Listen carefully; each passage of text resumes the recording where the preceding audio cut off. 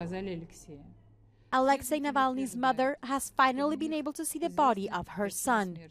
In a video statement from the Arctic city posted on Navalny's YouTube channel, Lyudmila Navalnaya said she's resisting strong pressure by authorities to agree to a secret burial of her son. Ставят мне условия, где, когда и как должен быть похоронен Алексей. Это незаконно. On Wednesday, Navalny's mother filed a lawsuit at a court in Salekhard contesting officials' refusal to release her son's body. A closed door hearing has been scheduled for March 4th. On Tuesday, she appealed to Russian President Vladimir Putin to release her son's remains so that she could bury him with the dignity he deserves.